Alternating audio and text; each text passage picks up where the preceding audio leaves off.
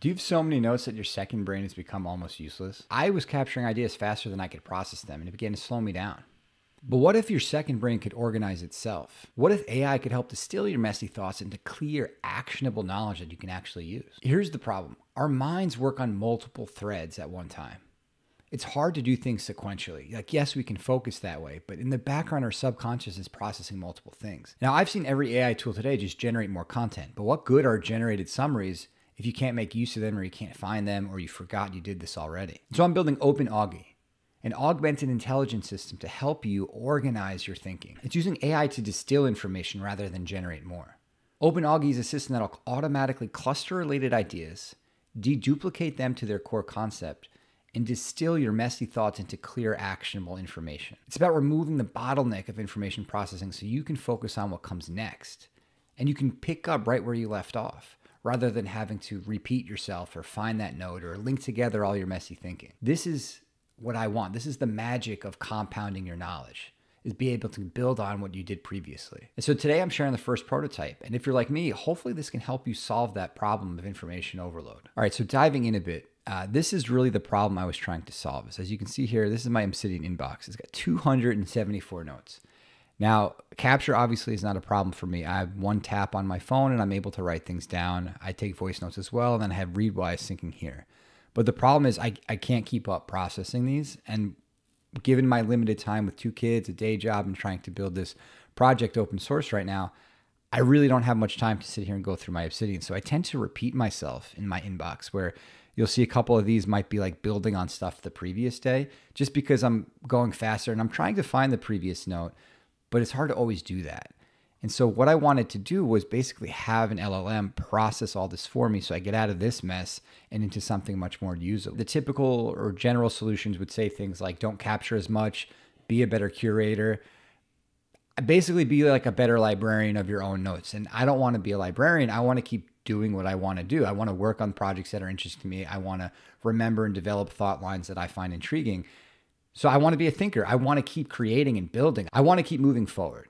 And that's what OpenAugI is a tool that listens to you, it organizes your messy thinking, and removes that overwhelm of too much information. And I wanted to enable you just to keep moving forward as you capture and it does the distilling and organizing and able to surface what's relevant as you as you work on what you need to. So at a high level, OpenAugI is a modular framework where you can swap in different components. And I, I, see it very similar to some of the tools out there like LangChain and txtai, where you're just piecing together steps of a pipeline. And so right now, like we have a source component, which comes from LlamaIndex to read in the raw files, a knowledge store, which I'm using LanceDB. That's your, your vector slash graph store or your vector store plus some metadata. Um, an extractor, which is how we extract the atomic ideas from our raw notes. So sometimes uh, when you're taking notes, you ramble, you have a lot of different ideas in there. The first step that I'm doing here is trying to identify atomic single thoughts that stand on their own and pull that out into its own unit or its own document. And so in in the example I've been showing you, these blue dots here are atomic ideas extracted from my inbox only. I, I, haven't been able to run this on my full second brain yet, but on the 300 or so notes in my inbox, these are all the atomic ideas. And you can see we have some pretty cool clusters here that pop up. Uh, so this is the extraction step that we see.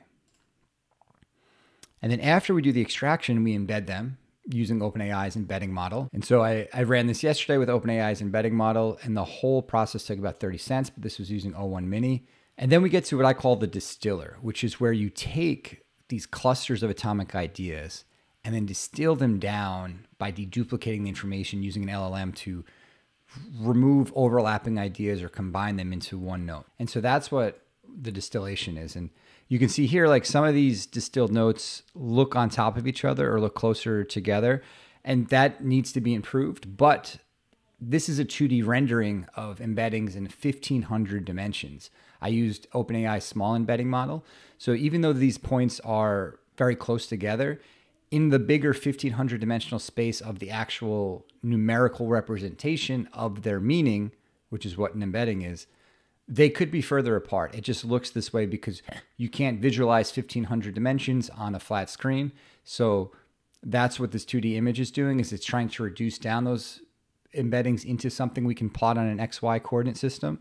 Uh, so even though these are on top of each other, I think they might be further apart. This is something though to further investigate. And obviously, this distillation piece and the clustering needs to be improved.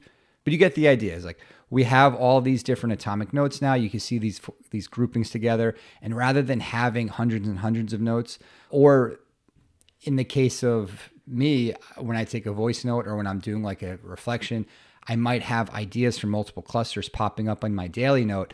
And so now by breaking them into small pieces, they can cluster together with their other bits of that thought or the other steps in that thought pattern I have.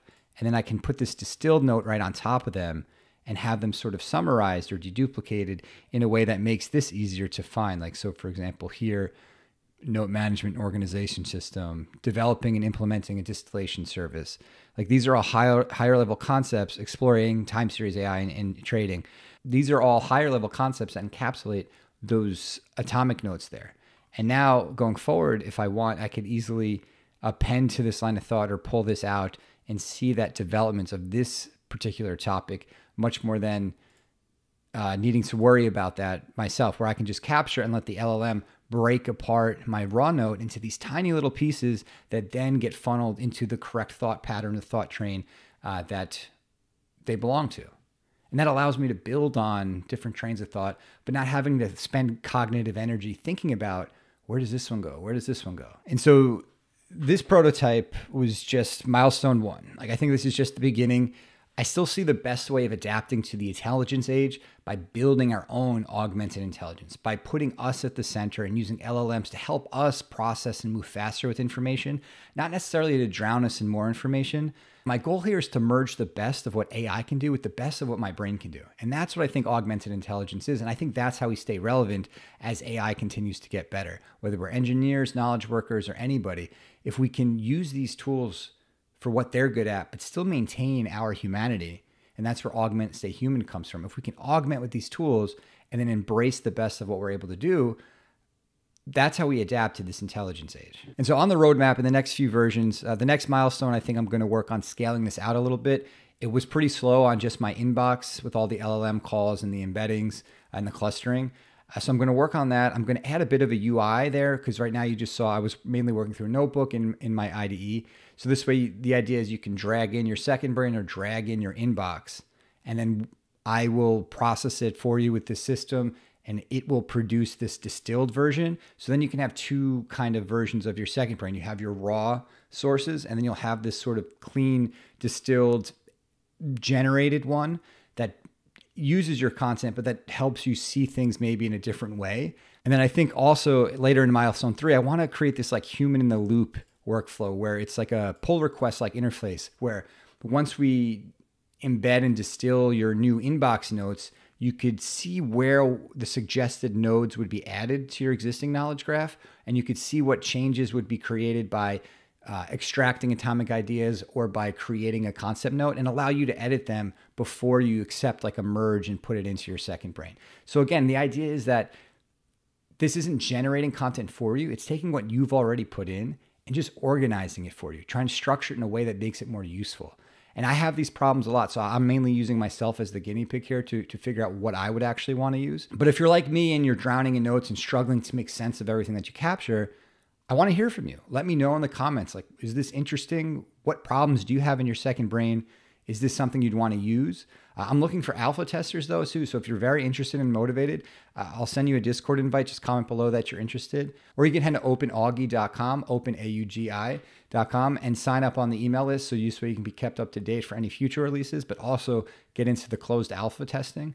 But let me know what you want to see. I have my own second brain problems. I want to hear where that overlaps with you and if we can build something useful together. I think this is an exciting time. Augmented intelligence, there's more people starting to talk about it, starting to pick up steam. Uh, so remember, until next time, augment, stay human. Thanks for watching.